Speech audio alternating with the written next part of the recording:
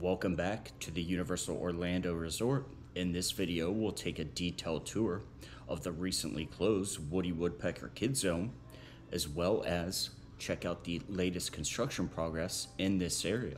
Now, it was back in November that Universal announced the closure of this land with the following attractions closing Woody Woodpecker's Nut House Coaster, Fievel's Water Slide, as well as Fievel's Playland, Curious George Goes to Town, the Shrek Meet and Greet with Donkey, as well as the DreamWorks Destination.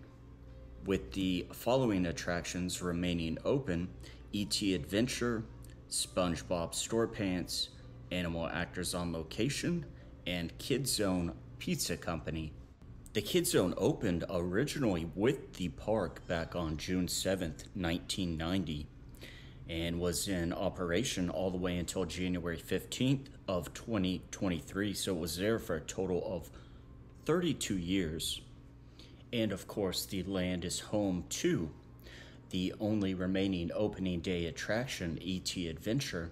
As of recording this video, it is February 15th, 2023. Universal has yet to announce what will replace the Kid Zone. It is, however, rumored that this area will be rethemed to something from DreamWorks.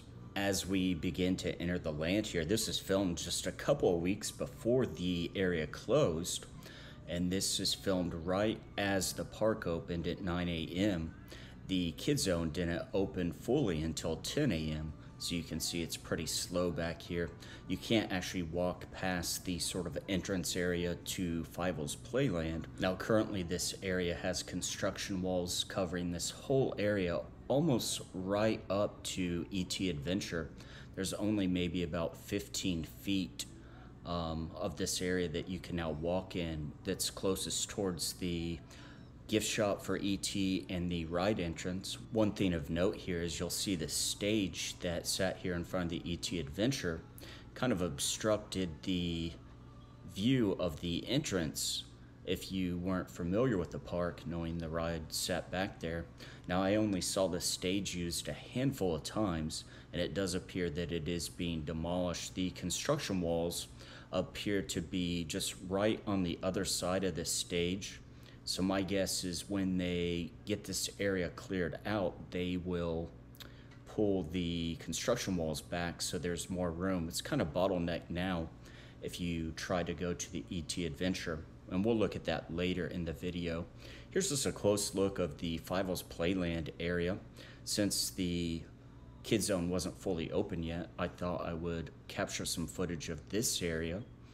You can see this is pretty much stroller parking area for ET Adventure, but it does give you a unique view into this playland. Now we'll re-enter the land. It is now past 10 a.m., so the land is completely opened. We'll take a look at it here. You can see the sign over there, uh, which stood there for so long. They have since uh, removed the sign from there, and the construction walls pretty much start right at where that sign is can see this is the entrance for the Animal Actors on Location stage.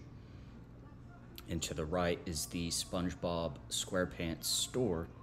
As we look over here towards the left, you can see these signs which show all the attractions that are in this area. Of course, most of these are all gone now, uh, with the only thing remaining is, of course, ET Adventure.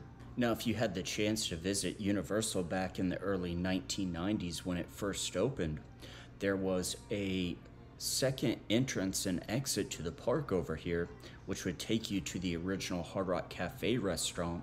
We'll take a look at that. The original Hard Rock Cafe restaurant closed back in 1998, but the building actually sat there abandoned and empty all the way until October 6, 2011, which is kind of interesting. One of the first videos I filmed here at Universal was actually of that abandoned Hard Rock Cafe. Now we're heading into Fievel's Playland here, and you can see that this area, it does appear that it was recently repainted. I think it was closed and there was quite a bit of maintenance work done on it just a couple of months before it closed and you can see everything does look pretty good in this area. And at this time, no one knows for sure what's going to happen with this area. Will they bulldoze this area completely and build something new? Could it just be rethemed to DreamWorks? We really don't know yet. Now, personally, I think I would like to see this area bulldozed completely and see Universal build something nice and new in this area. But we'll have to wait and see uh, what changes they end up making back here. Another interesting thing about this area back here, several years ago, this land was supposedly going to become the Super Nintendo world, which Universal is now building over at Epic Universe.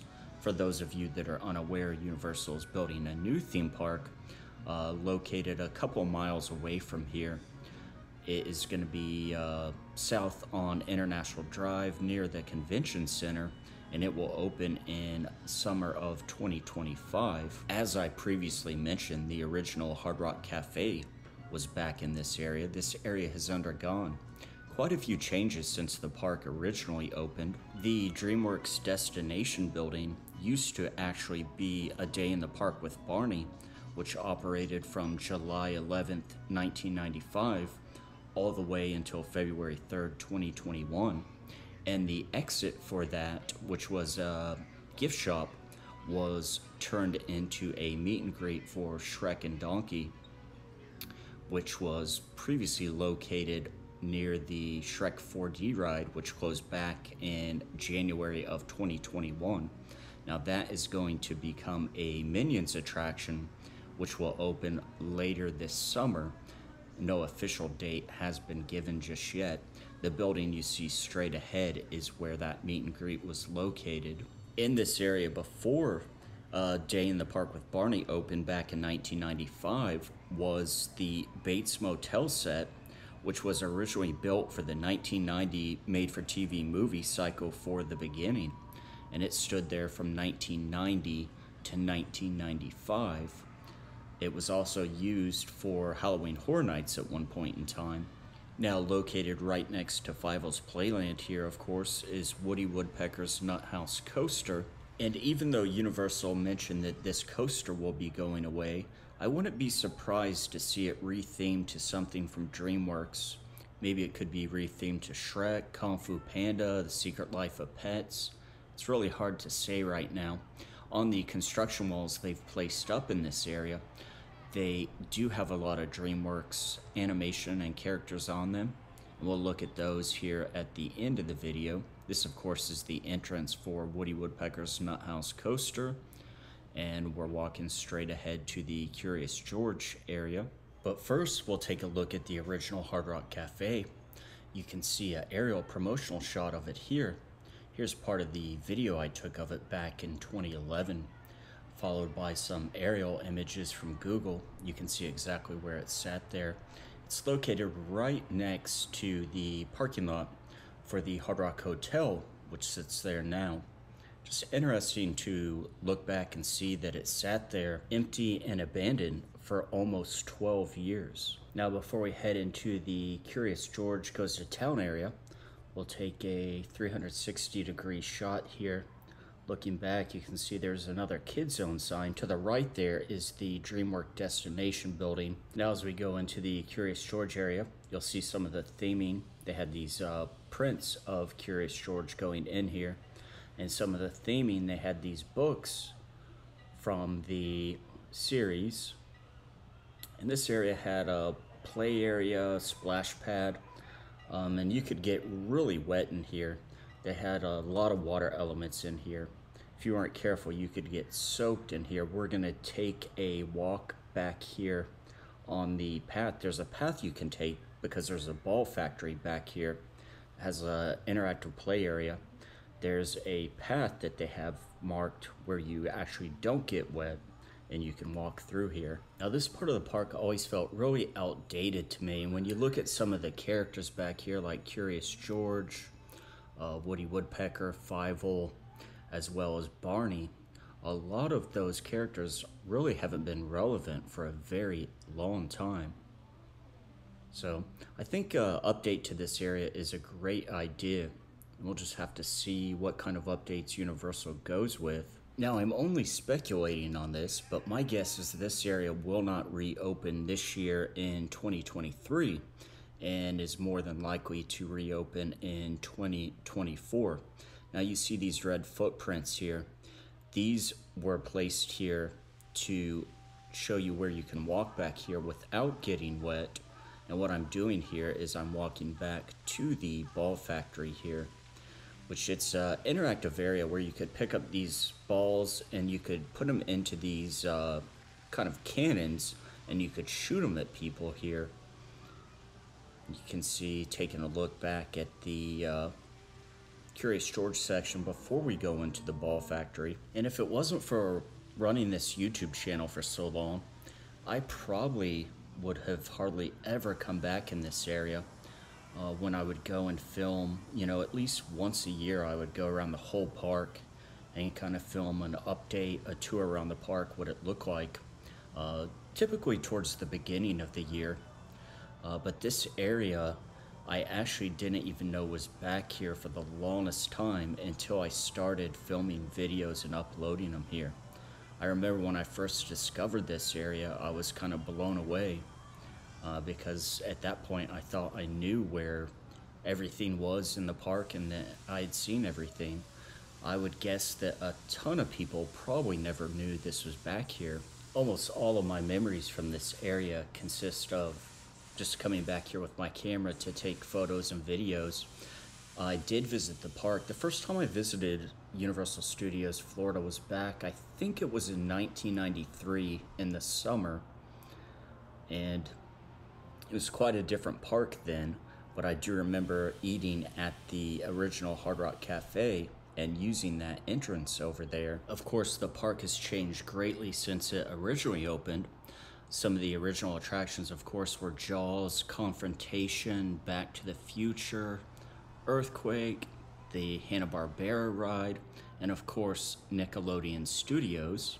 One thing I would really like to see added here is the Secret Life of Pets ride, it's a ride they built a couple years ago at Universal Studios Hollywood.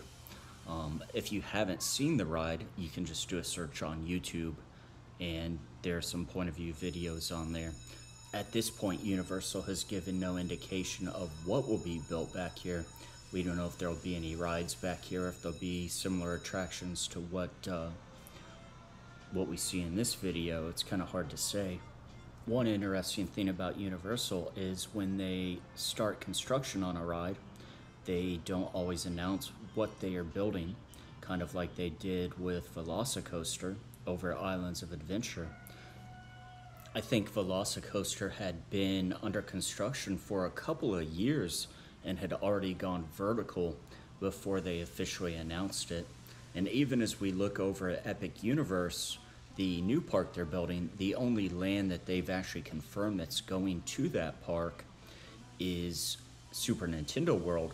And most of the other lands that are coming to the park have only been discovered through the permits that Universal has filed for those, which include blueprints and other details, as well as ride manufacturers. Other lands that are rumored, uh, speculated to be coming to Epic Universe include another land for the Wizarding World of Harry Potter, a land for classic Universal monsters, one for How to Train Your Dragon, and the hub area of the park is thought to be based on science fiction novels like those written by H.G. Wells and will contain multiple attractions, including there's going to be one dueling coaster as well as some other unknown attractions, which we'll all find out about in the near future. Now, as we head out of this area, we'll take one final look back at the Curious George Goes to Town area. You can see all the splash pads in action there. You can also see how slow this section of the park is. It does typically get some bigger crowds later on in the day, but overall I would say it was the least popular, uh, least visited area of the park. Of course, you're not going to go back in this area likely unless you have small children. Now as we make our way out of here, we're going to take a look over here at the area by the DreamWorks destination. Of course, as I mentioned previously, this is the area that used to be a day in the park with Barney, which operated from 1995 to 2021. And for this particular video, I'm just kind of taking my time walking through here just to take in this area one last time. It's always so interesting to get footage like this to be able to look back on later, especially once everything is changed. Even uh, sometimes, you know, you go to the park and you may take a photo or video or something, and uh, the next time you go there, um, you know, whatever you captured might not be there. They could change it. They do make so many unannounced changes at these parks. Sometimes you never know if what you see will be there on your next visit. There's been so many changes here at Universal in recent years. Of course, there's a ton of construction going on at the front of the park where the Shrek 4D ride has closed and it's becoming a Minions attraction. They also closed the Monsters Cafe and it is now becoming a Minions themed cafe, both of which open later this year. Now, in the entire time that the A Day in the Park with Barney attraction was open, it's one of the few attractions I actually never went to or experienced. So I made a point on this day of recording this video, which is just a few weeks before the area closed, to go in and check out the DreamWorks destination. Now we're heading over to take one final look at Woody Woodpecker's Nuthouse coaster just to watch it and see it in action here. Now this Woody Woodpecker coaster I had actually never been on until about uh, 2011 or 2012 I believe. I used to take my niece to the park when she was younger and I would take her on this ride and she would just beg me to go on it again and again Sometimes we would ride it maybe 10 times in a row.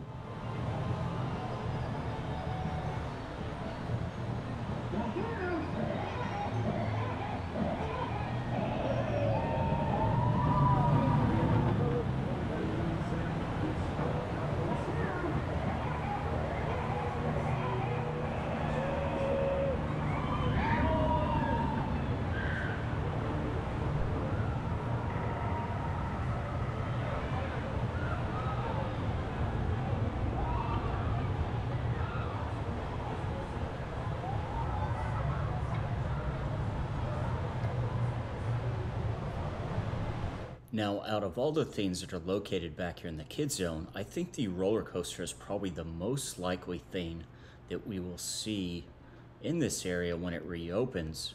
Um, it can be easily rethemed to something else, repainted. And for the final part of our tour here, we're going to step inside the DreamWorks destination building. You can see these are the show times for it here. And in here you can meet all sorts of different characters from the DreamWorks films, they also had all these nice benches in here, which you could sit down and relax. And of course, it was air conditioned in here, so it was very comfortable. But as far as our tour goes of the Kid Zone, we have reached the end. Coming up here in just a second, we'll take a look at the construction progress. And I've got a lot of good footage of the construction from several different days, which will give you a good idea of how this area is progressing.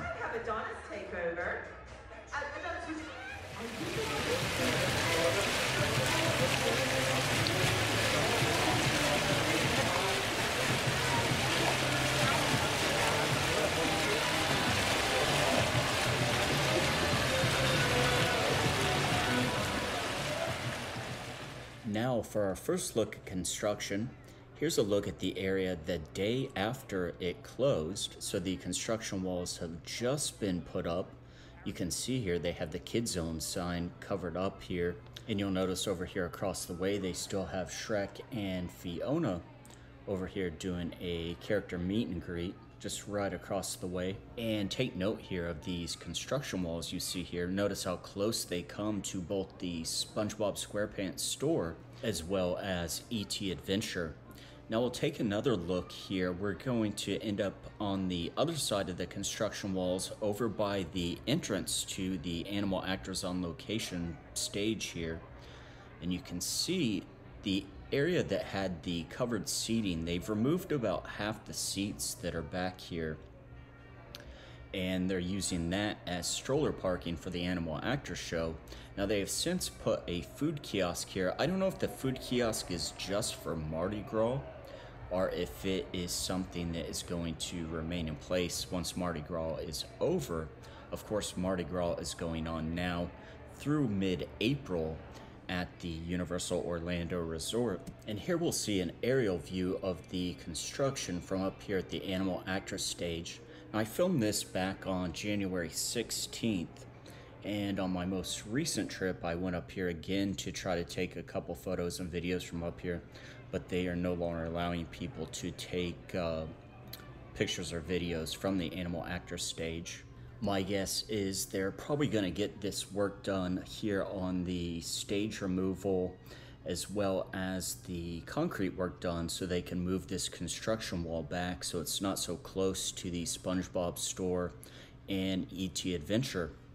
And there's really not a huge difference that you can see here.